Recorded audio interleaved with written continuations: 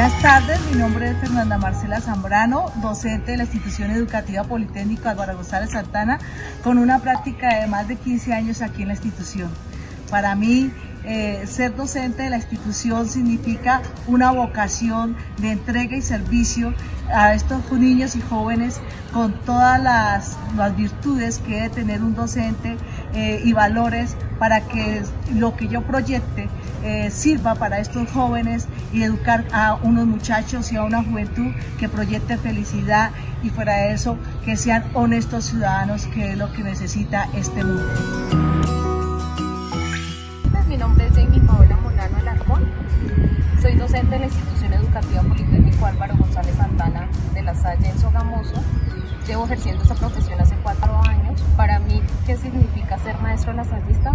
Para mí significado es demasiado grande, es amor, alegría, ya que nos permite inculcarle a nuestros estudiantes todos los valores lasallistas, justicia, fraternidad, y más desde el ámbito de la materia que yo doy, que es psicología y medio ambiente, poder respetar y valorar nuestro mundo entonces para mí es un significado demasiado grande.